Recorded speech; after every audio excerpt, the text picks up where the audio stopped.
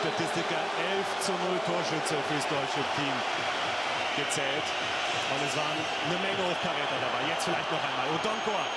Und jetzt ist es da! Oliver Neville und das ist hochverdient fürs deutsche Team.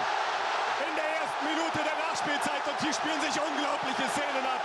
Unten auf der deutschen Bank, oben auf den Rängen. Die beiden Eingewechselten entscheiden das Spiel. Da wird Odonkor geschickt.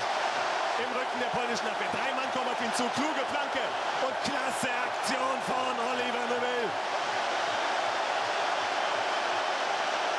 Der hat einen sensationellen Lauf. Zeigt ihn Jürgen Klinsmann reaktivierte fürs Nationalteam. Boros ohne Chance.